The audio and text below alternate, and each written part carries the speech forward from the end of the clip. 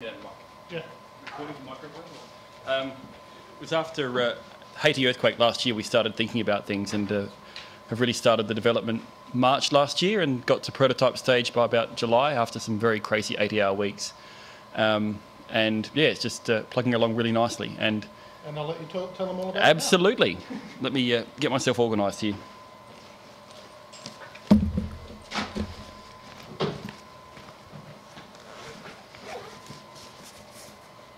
Uh, we're using Android phones, but the interesting thing is Windows Mobile will probably actually be easier for us to get it to work on with the meshing without needing root access than Android. Um, just as one of these strange things. So I'm quite happy to talk to uh, to Microsoft about this as well. We want it on every phone, really. Um, before I get started into the uh, the full-on talk, um, my first, if you like, uh, mobile development is uh, a genuine shoe phone. Um, I like Get Smart. So uh, if anyone wants to have a, a look at some shoe phones after, they're here.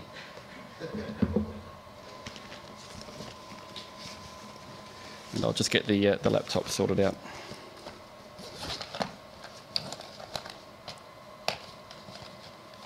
Everyone enjoying conference so far? Yeah.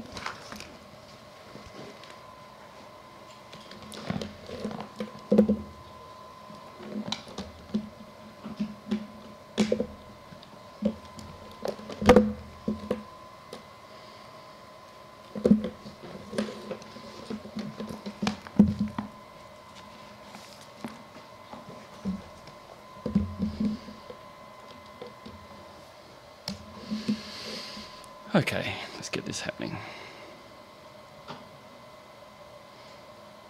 Do-do-do-do, na-da-da-da. Hello, computer. Ah, ooh, that's quaint of it to do that for me. Okay. So, as mentioned, talking about the uh, the Serval project. So, um, ads for other talks. Um, this morning I gave a talk talking about some of the, the backstory. So if you want to kind of know where we've come from and kind of my crazy approach to uh, to various things, uh, you can grab the, the video online for that. Um, Thursday uh, morning I'll be doing a, kind of the main talk about the project. Um, and we'll go into some more of the, the big picture, but I'll do a, a quick run through today.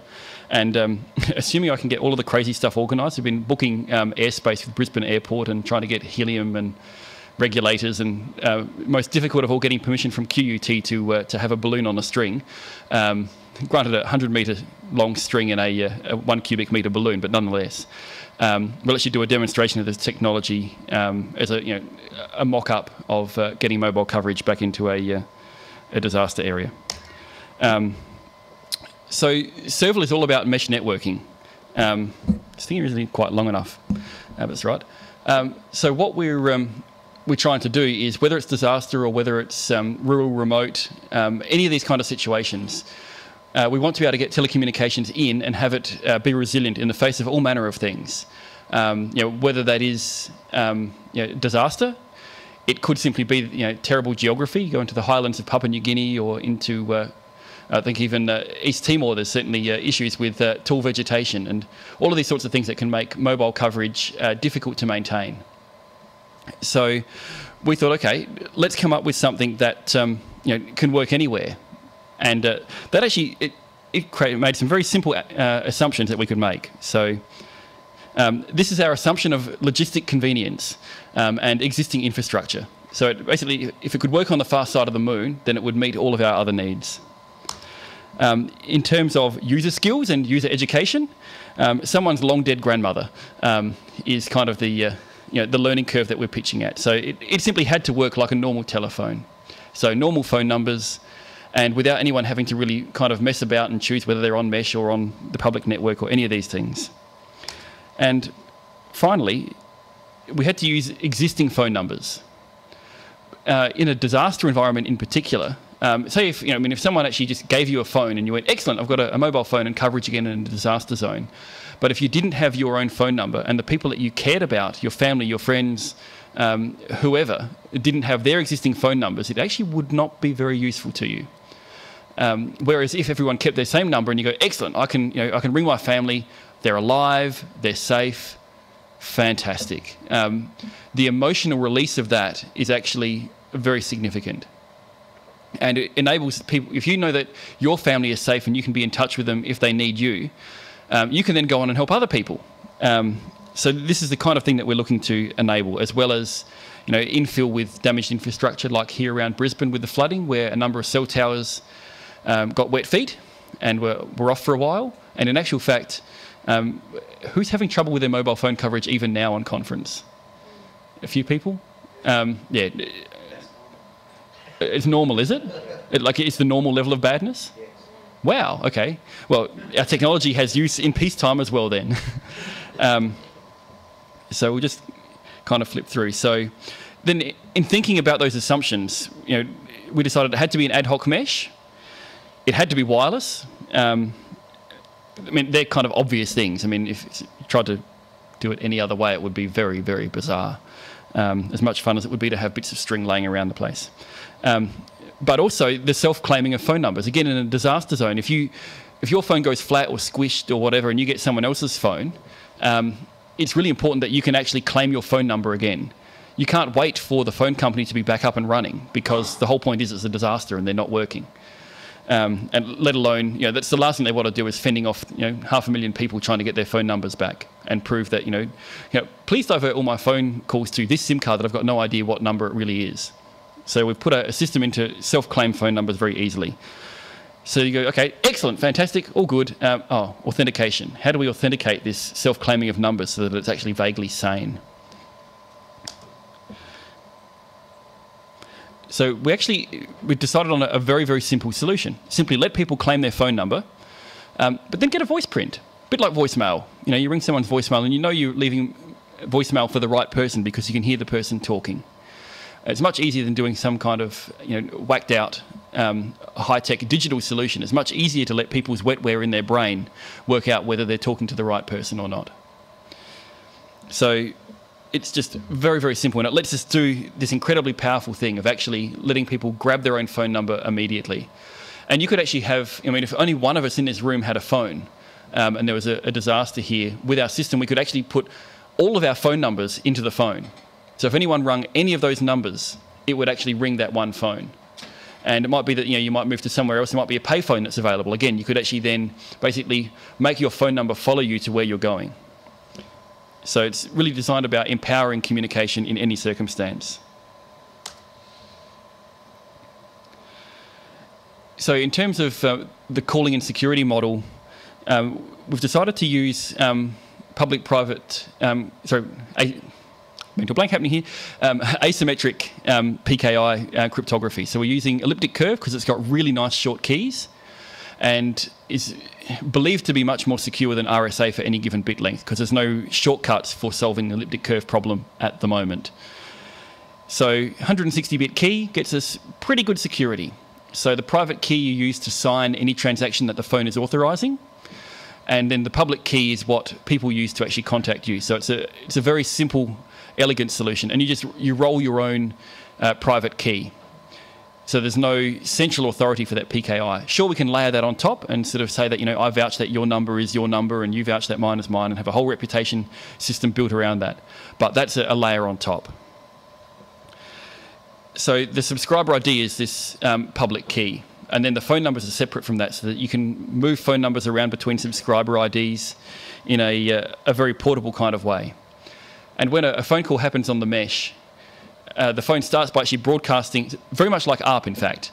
Um, except instead of putting out an IP address and getting an Ethernet address back, you put out a, um, a direct dial-in number, and you get given a SIP address back.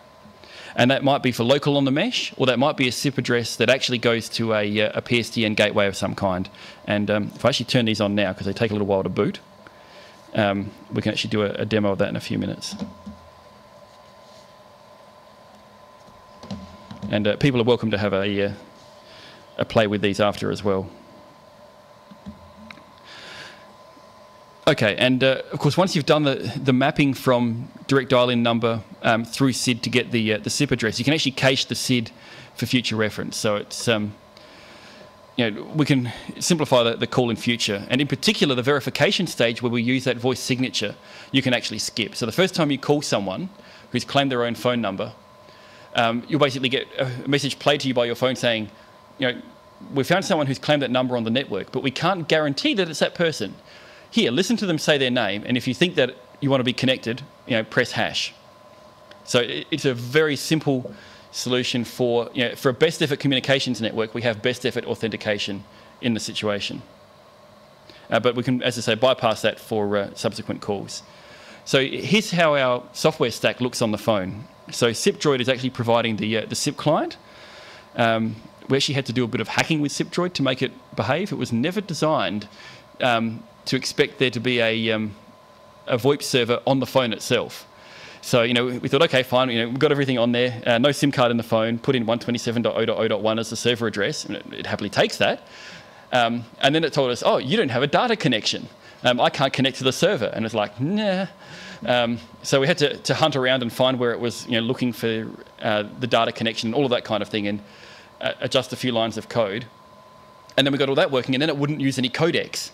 And we're like, what's going on now? And it turns out what it does is it finds out what speed your data connection is and filters the connections based on that. But of course, you know, it wasn't counting on the loopback interface actually being available. So um, it was a lot of effort to find the six lines of code that we actually needed to, uh, to change in there. We, we need to get around to putting that patch back out actually.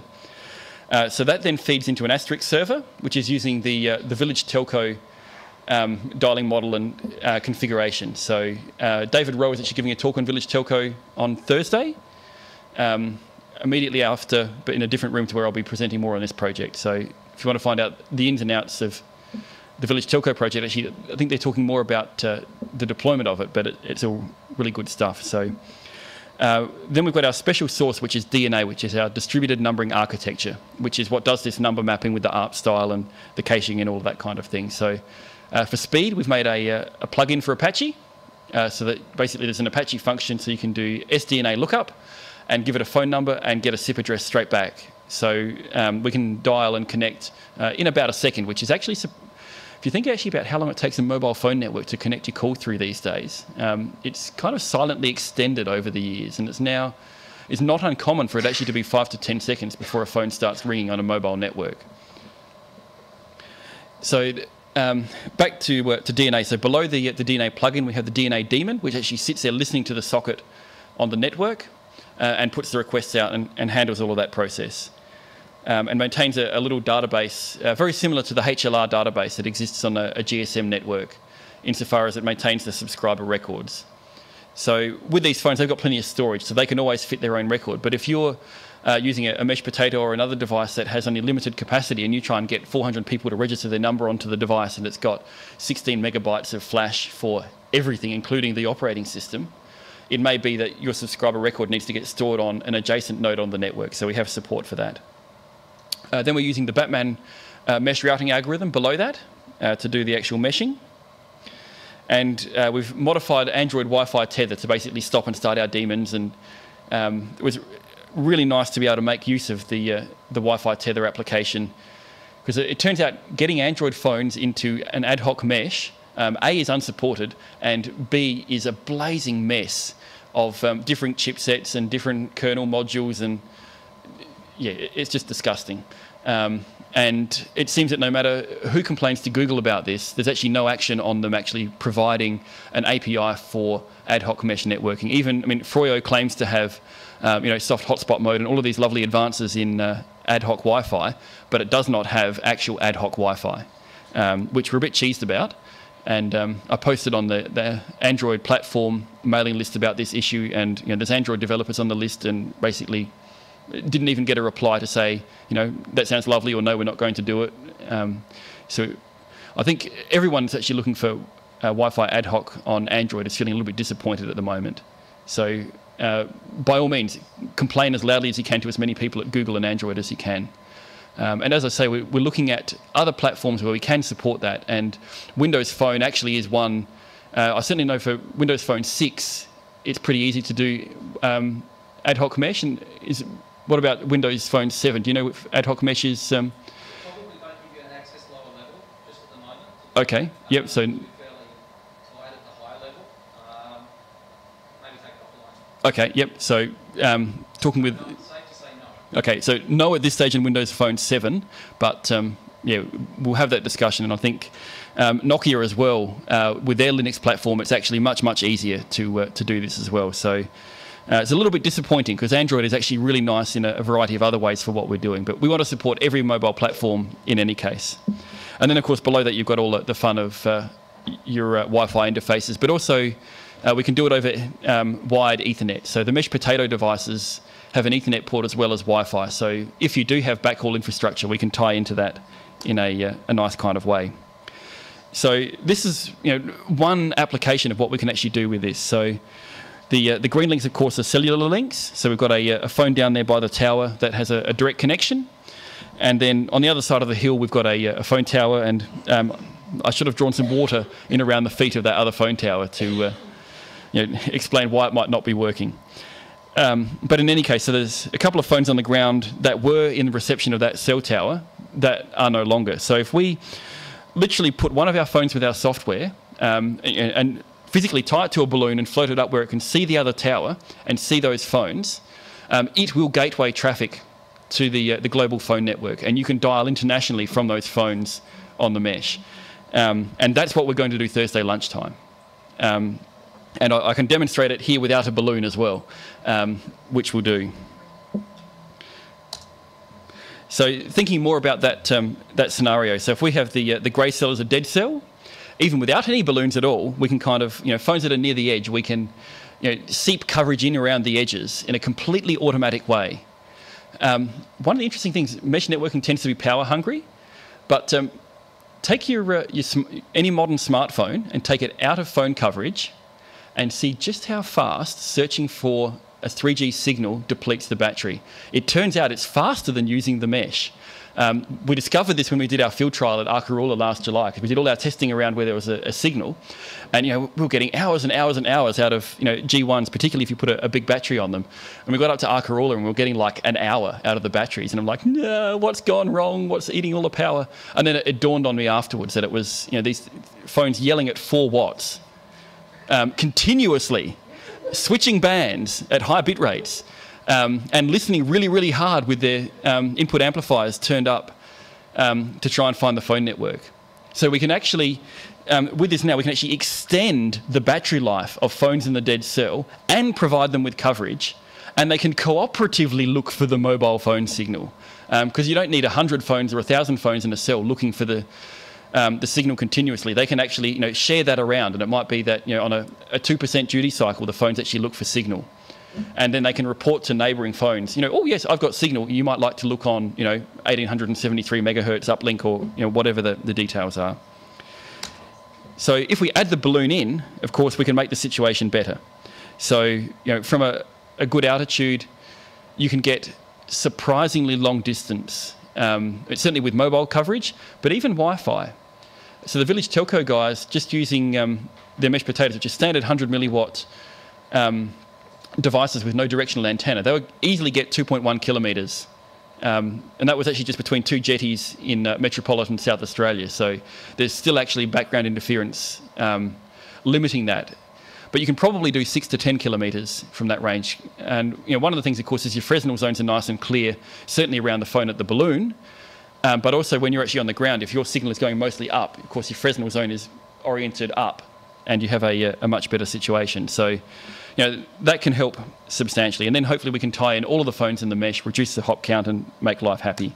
Um, if now you're in a, a, real hardcore disaster zone where everything has gone out, again, you know, say if we, we already had that balloon there and the rest of the network went out, so that cell's getting good internal coverage, and people can call each other internally as well with this, of course, because the mesh can do the, the number resolution without reference to the internet, which is a, a key point.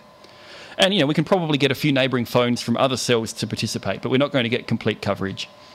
And then you know, someone might, nice might come along, maybe the Red Cross, and put a, uh, a BGAN satellite terminal in or something like that.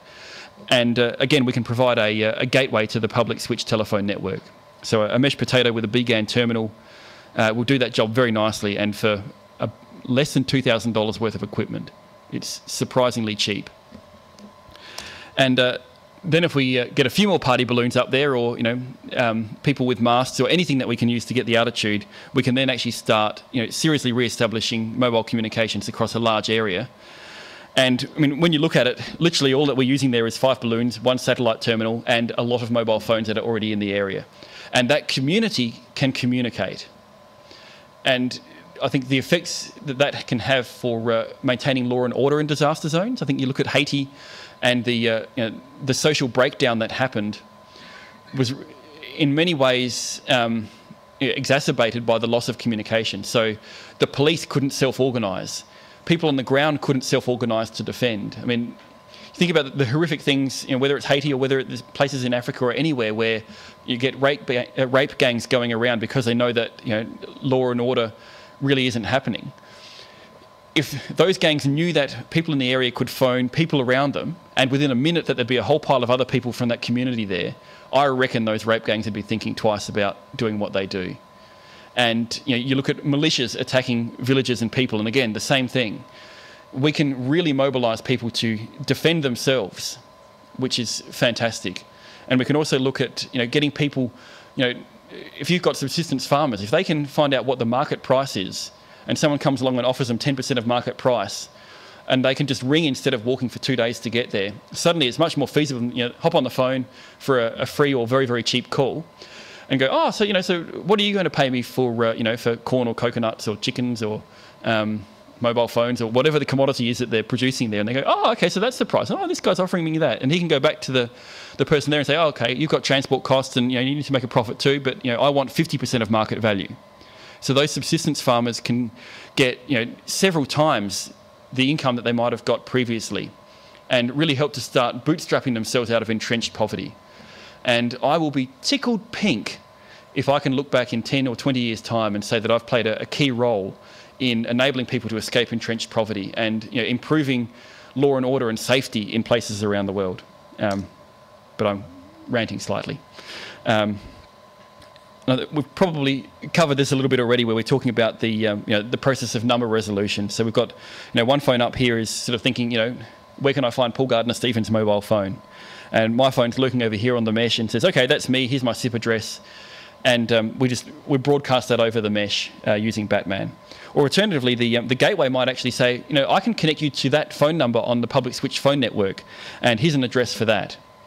And ideally, the phone that's trying to, uh, to ring me will go, okay, yep, he's available on the mesh. I'll try that first because that's free and cheapest. And we're incorporating um, cost models into the protocol so that when you make a call, you can choose based on price and link quality and a whole pile of other uh, interesting things. Demo time. Um, this was actually uh, a week or two ago. We went down underground in a cave and proved that we could make phone calls 90 metres underground, um, which was uh, very fun in and of itself. So let me. Who'd like to get rung by a, uh, a mesh phone? Who'd like to ring someone on a mesh phone? Okay, excellent. So this is the phone that has a SIM card in it. So if someone just wants to hold that and pretend they're just using it as their phone, um, and uh, hang on, I've given you the wrong phone. That is the phone that doesn't have a SIM in it. This is the one that does. Um, yeah, that's right. um, so, and you're quite to come up and look look at, you know, there's physically no SIM in it, and it's in aeroplane mode as well um, to save power, in fact, to not search for a phone network. Um, so at the moment, that phone isn't running the mesh. So if I try and ring the number, it won't connect because there's no gateway. So um, do you want your phone number known to all the world? Excellent. Yep. Yep. 564. What a, a, number with lots of fours in it. And I may need to get that out of you again because this phone tends to forget things. Um, do, do, do, do. Okay, let's try that again. 414. Yep. 46564. Okay. So they're prototypes, and I forgot to start an important thing. So it's trying to, to dial, and it gives up after a while because it can't find the number on the mesh. So now on that phone, um, if you touch the little Serval bat phone icon, that should be sort of top right-ish below the search doodad. Excellent. Now touch the green thing in the middle. Still very technical. and it should say it's running. Like you'll be able to tell you when it is because, Please wait while starting. yep. Okay, and it's starting. It's running now because my phone is now telling me there's one other phone on the mesh reachable. Yep. So now if I go in there again and I try and ring that number, um, assuming correct phase of moon and everyone's wearing the right coloured underpants, um, the call should go through.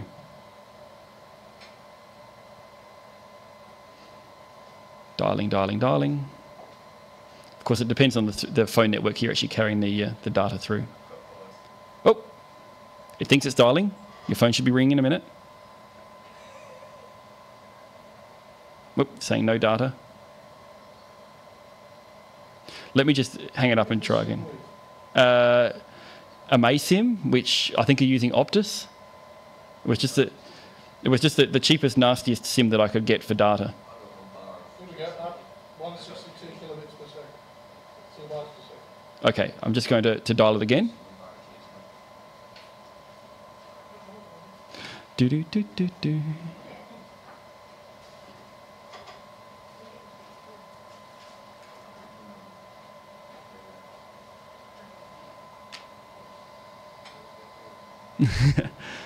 and I think we're having a.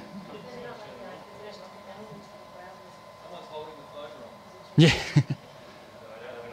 yeah, we might be being uh, thwarted. Higher, I don't, I might be able to get better signal. Okay, let me. Um, we'll try once more, and then we'll uh, we'll officially give up.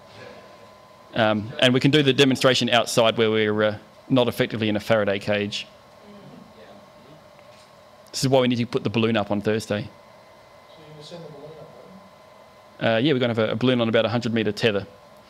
Uh, it turns out it's easier to get air traffic control approval than it is to get a university to approve you to put a balloon on their oval. It's just phenomenal. So that would go into the most airmen's. Yes, it will. And it turns out that um, one of the, uh, the ambulance volunteers is actually a, uh, a Virgin pilot who'll be flying back in when the notice to airmen will actually be in effect. So he's promised to keep us a copy. so,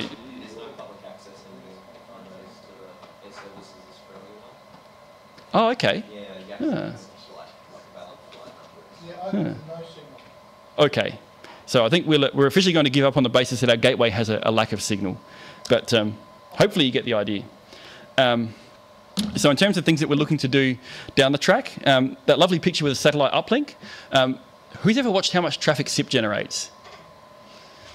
Yep, like I think my punt there at about a kilobyte a minute is probably a, a moderately conservative um, punt. Um, a nice satellite terminal will cost you about $10 a megabyte. So one phone is going to cost you about 14 bucks a day just to be available via SIP. So this clearly doesn't work.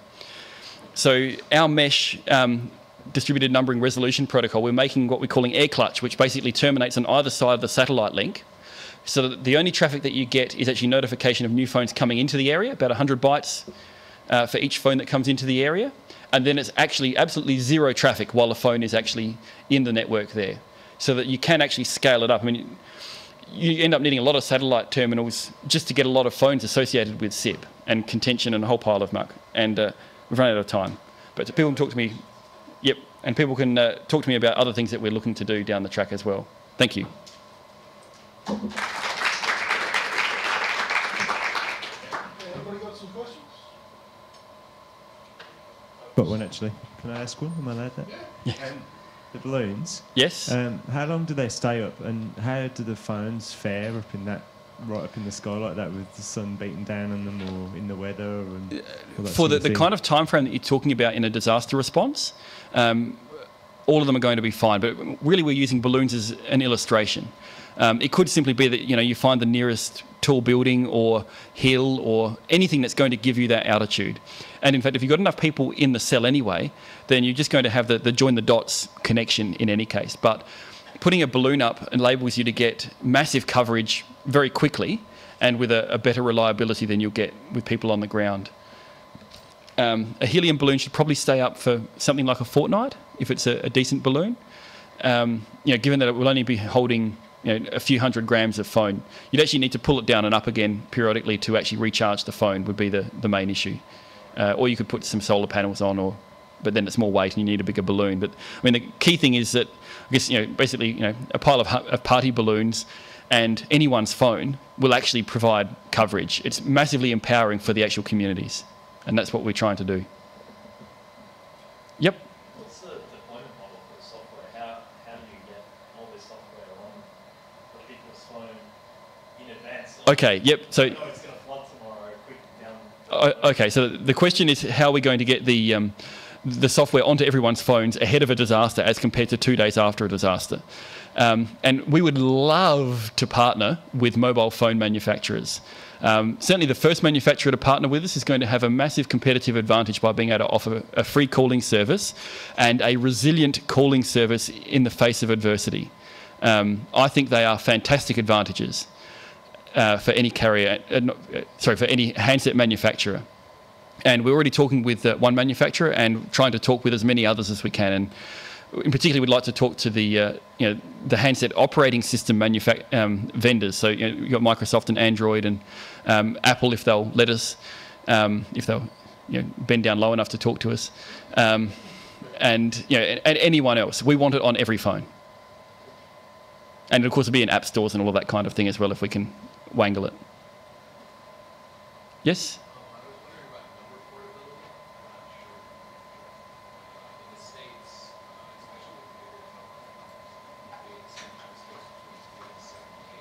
Okay, to port your number. Yep.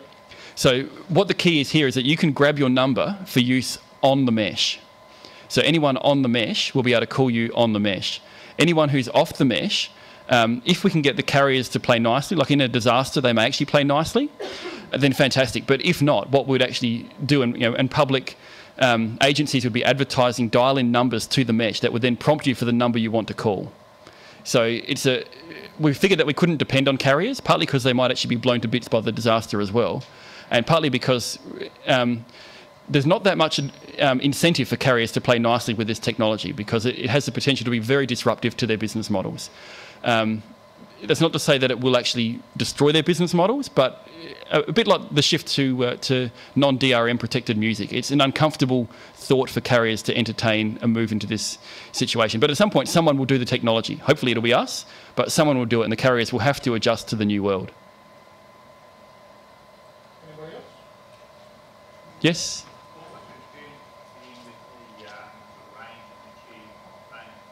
Okay, so phone-to-phone range we're talking about. Uh, range between phones we're talking about here. Sure. That's right. So we're, we're using the Wi-Fi radio in the phones at the moment. Um, we actually have uh, plans to uh, to use more than that. Um, there's some skullduggery that we'd like to do with the baseband processor on the phones that actually doesn't require any spectrum um, allocations or anything to be made and fits entirely within the legal frameworks of many countries. Um, that would give us a, a potentially a, a 4 watt transmitter, but in reality, uh, limited to 1 watt and at lower bit rates. That would massively improve the link budget. So that should be able to get kilometres um, type range in a, an urban area. Um, as it is with Wi-Fi, we can get a you know you can get a couple of hundred meters line of sight between phones. But the really interesting thing is, in a disaster, the whole point is no one's microwave ovens are working anyway. Um, so the the noise floor for Wi-Fi actually drops right down. So we found up at Arkaroola when we were doing the field trial uh, that you know three, four, five hundred meters was you know happening without any real issues at all. Um, and that's without having the elevation. I mean, if we can get the, the clear Fresnel zones, then that's um, I can't, six or 10 dB. I, I'm not really a, a radio guy, um, but I think it's something like that, which basically doubles your range uh, that you can expect as well. Sure. Security wise, I mean, drinking has always been part of fun. And with this best effort security, what's to stop with provision of this service? People provide software or line patches that forces phones if they, they become sh- mesh mode, be in mesh mode, and then uh, social engineering recordings of people Okay. Yep. So yeah. Okay. So the question is about security of basically someone getting someone else's voice signature and presenting that to uh, to you know attract calls to them that are intended for the other person. Absolutely, it's an issue. Um, but I think in a disaster, I'd rather run that risk than not be able to call anyone. Um, but in a uh, a more civilized setting where we can make use of internet and peacetime to get ready ahead of time, um, you know, I envisage things like you know having the, the post office. So you kind of rock up with your phone to the post office, and you know you present some power bills and um, phone bill to show that you actually own the phone number, and then the post office signs a certificate that goes onto your phone that says that basically, you know, the post office believes that you really are the owner of that number, and that PKI verification will go through to anyone calling you, and they'll say, oh, look, you know, they've been approved by the post office. Um, we can't trust carriers to do it because, again, there's no incentive for them to actually support us doing that. In fact, there are disincentives uh, for them to be involved in that process. But the post office doesn't get as many people through its doors as they used to. So I reckon when we get a little bit further along, that the post office will be a, a great place to uh, to explore.